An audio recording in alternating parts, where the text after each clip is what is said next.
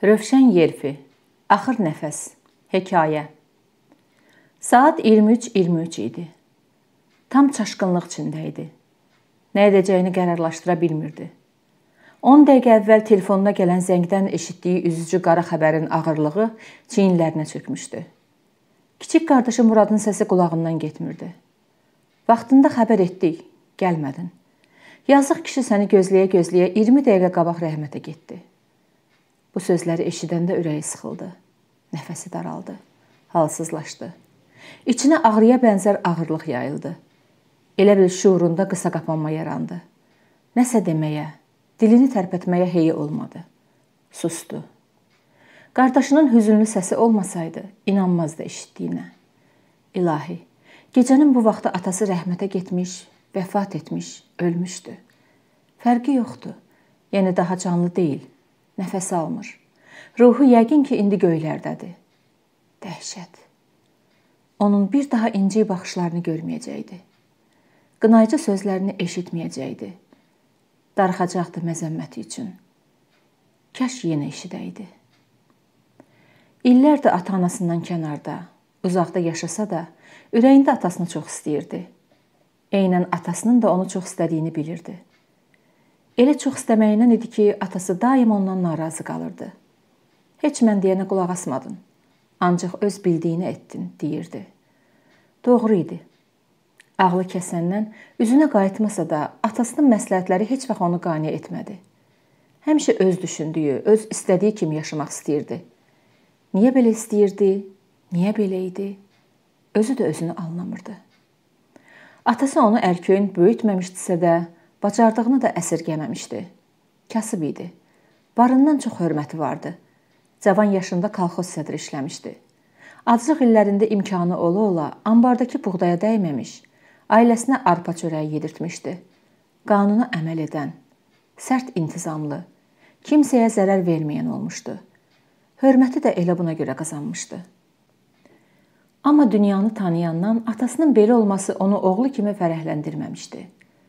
Başqa vəzifəlilərin uşaqlarını görəndə onların imkanlı dolanışığına ürəyində az da olsa həsəd çəkmişdi. Qərara gəlmişdi ki, o atası kimi olmayacaqdı. Onun sayaq hamını düşünməyəcək, kiminsə nə deməsindən narahatlıq keçirməyəcək. Yalnız özü üçün yaşayacaqdı. Orta məktəbi bitirəndə qərarlaşdırdı ki, nə bu kənddə, nə də bu rayonda qalmayacaqdı. Atası ilə qalmaq, ona baxmaq onsuz da kiçik olduğu üçün Muradın boynuna düşürdü uzaqlara gedəcəkdi.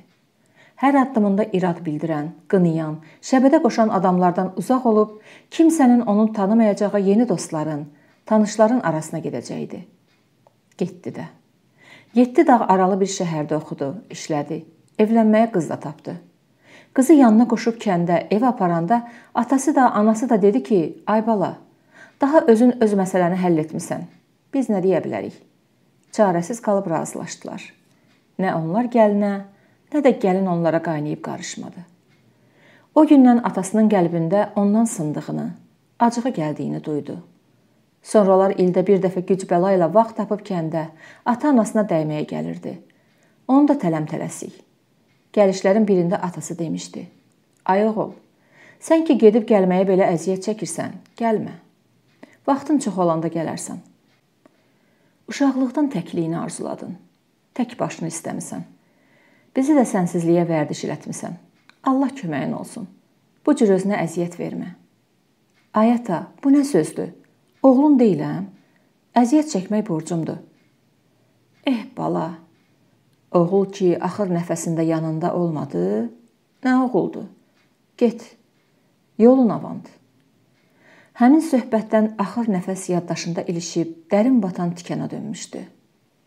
Bir il əvvəl Murad zəng etmişdi ki, kişinin vəziyyəti pisdir. İmkan elə gəl, barı sevinsin. Səfəri rahat oldu, gəldi, bir gecə qaldı. İynə dərmanı ilə maraqlandı.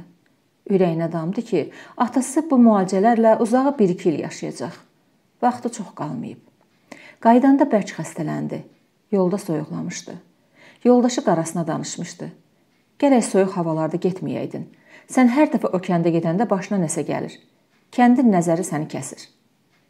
Keçən ay Murad yenə onu kəndə çağıranda üzrxahlıq etdi ki, ailəlikcə qripik.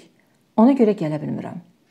Axırıncı dəfə ötən həftə Murad təkrar zəng edib halı ağırdı xəbərdarlığını edəndə işindən icazə ala bilmədi. Düşündü ki, gələn həftənin istirahət günündə gedərəm. Ağlına gəlməzdi ki, atası həftənin axırına qalmaz. Yaranışın ölüm göz ilə qaş arasındadır acı həqiqətini nədənsə unutmuşdu. Demə atasının son günləri imiş. Can üstəymiş. Ölümü üçün can çəkirmiş. Nitqi tutulsa da, nəzərləri həsrətlə onu axtarırmış. Hamı gözləyirmiş ki, o gəlsin. Kişi onu görəndən sonra rahat gözünü yumsun.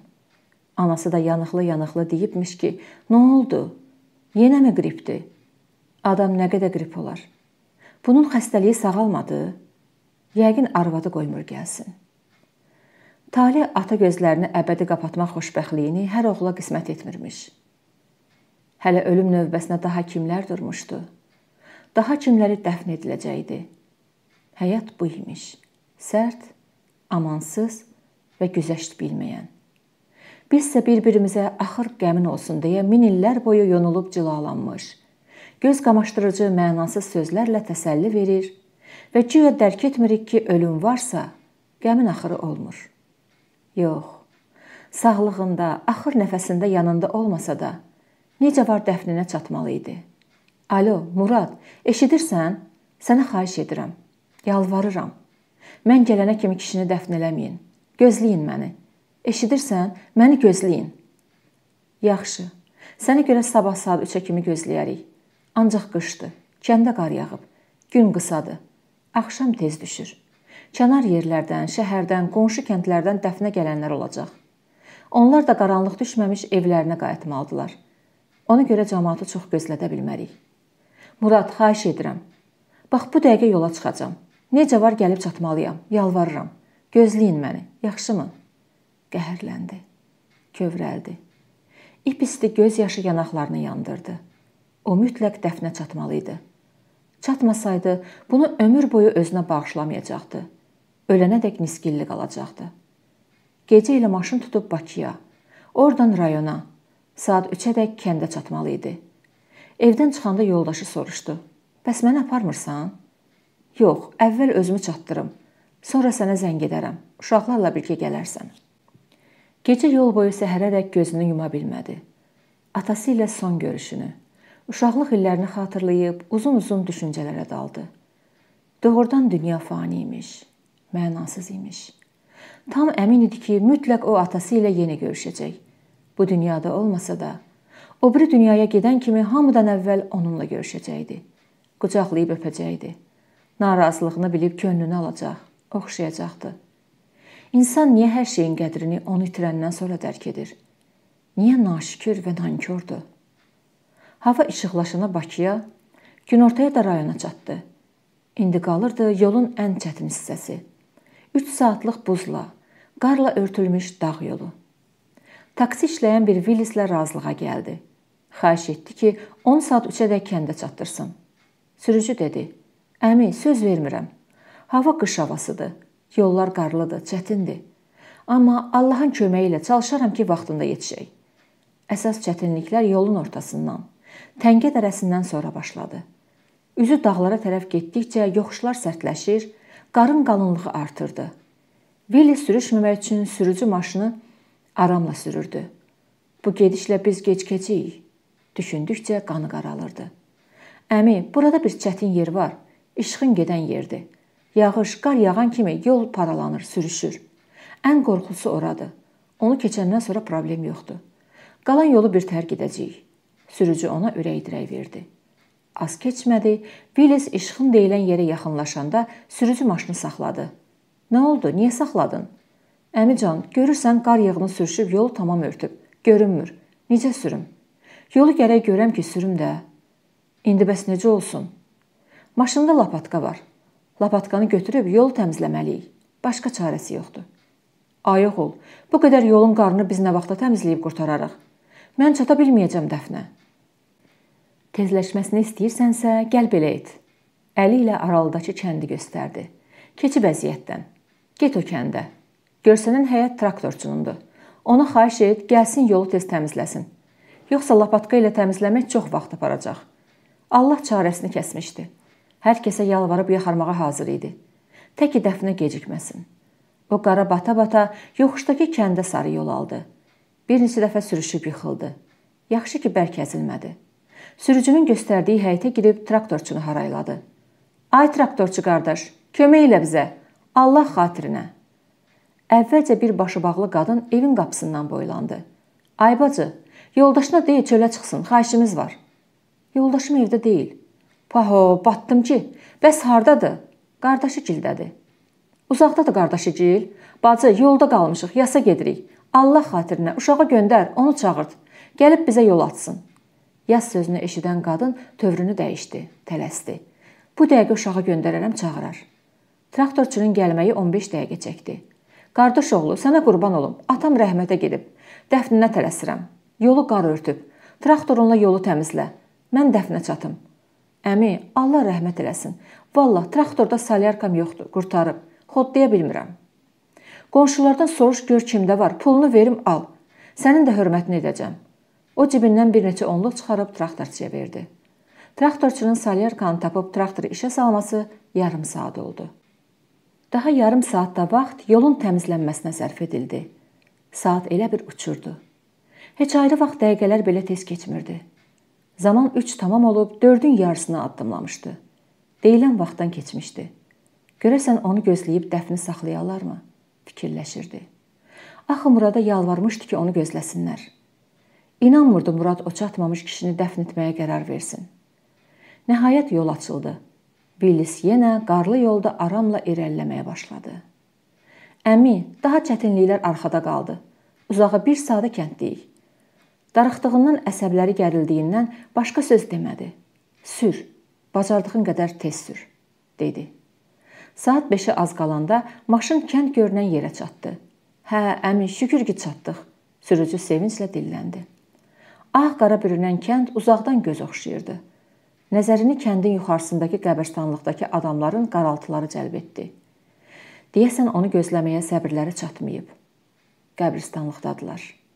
Halı dəyişdi. Axşamdan bəri içinə yığılan qəhər boğazında düyünləndi. Demək o atası ilə vidalaşa bilmədi. Demək o son nəfəsinədək atasını xatırlayanda həmişə vicdan əzabı çəkəcəkdi. Niyə belə olsun? Nə üçün? Yaxınlaşdıqca hərəkət edən adamların üzlərini kəndə sarı çevirdiklərini təxmin etdi. Sən çatdın. Amma mən deyəsən çata bilmədim.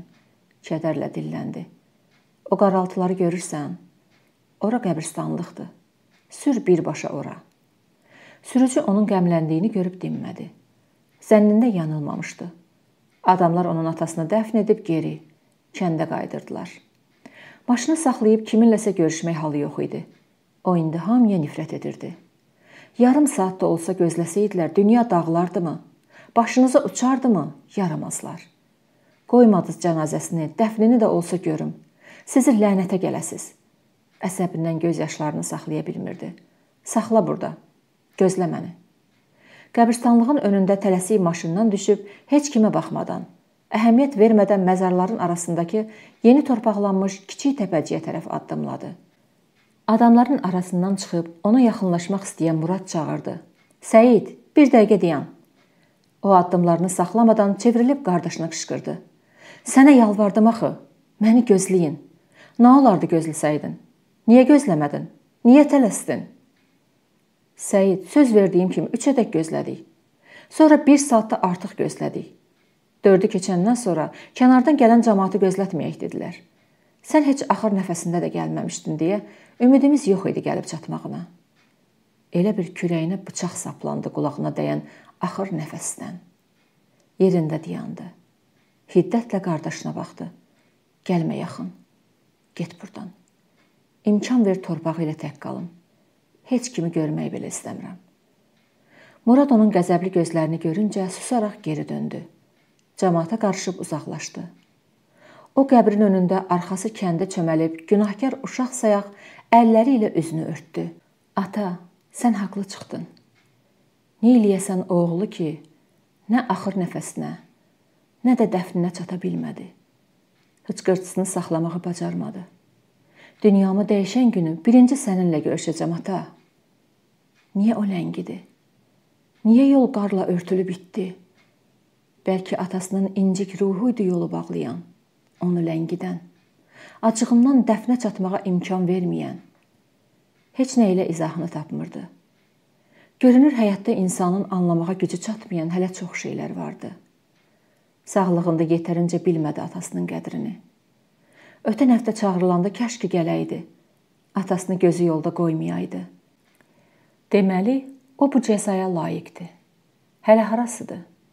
Şübhəsiz həyat ona da borclu qalmayacaqdı. Üç oğlundan ən azından biri Türkiyədə oxuyub qalanı güman ki, onun da gözünü yolda qoyacaqdı.